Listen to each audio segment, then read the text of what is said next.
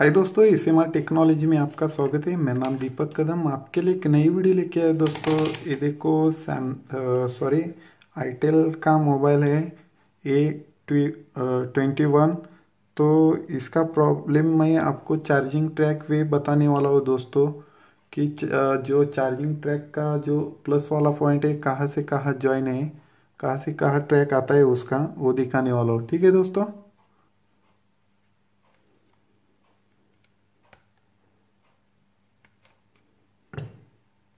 ठीक है तो दोस्तों मैंने मोबाइल ओपन कर दिए।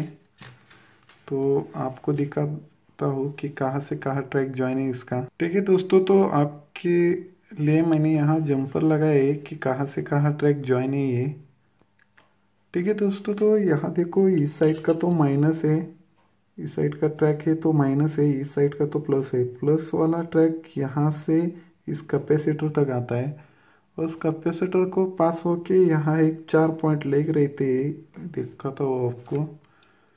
जो एक दो तीन चार चार नंबर के जो चार ट्रैक है ये डायरेक्ट प्लस को आता है।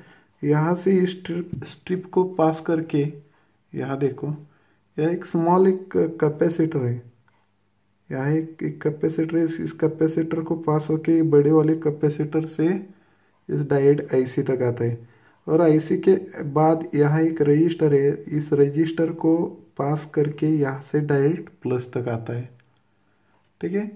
और एक बार बताता हूँ दोस्तों, इस साइड का तो माइनस है, इस साइड का ट्रैक तो माइनस है, इस साइड का प्लस है। प्लस वाला ट्रैक यहाँ से इस कैपेसिटर को पास करके, इस ट्रिप को पास करके, यहाँ देखो, यहाँ एक स्मॉल कलर का, ये ब्राउन कलर का जो कैपेसिटर है छोटा वाला छोटा वाला कैपेसिटर से यह एक बड़ा वाला कैपेसिटर को पास करके यहाँ आईसी तक आता है।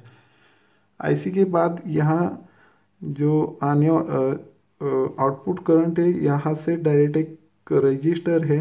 रजिस्टर को पास करके यहाँ से डायरेक्ट इस आ, बैटरी कनेक्टर को प्लस को जाता है दोस्तों। ठीक है? तो मैं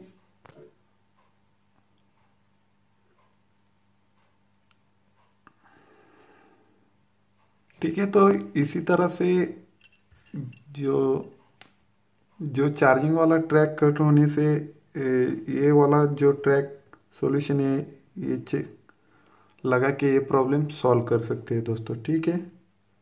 तो और एक बात दोस्तों, जो फेक वाला चार्जिंग का जो प्रॉब्लम है, ज़्यादा से ज़्यादा चार्जिंग सॉकेट को लिक्विड डैमेज होने से भी प्रॉब्लम आता है या मिट्टी विट्टी लगने से ये प्रॉब्लम आता है कि तभी हम चार्जिंग सॉकेट को चेंज करके फेक चार्जिंग का भी प्रॉब्लम सॉल्व कर सकते हैं दोस्तों।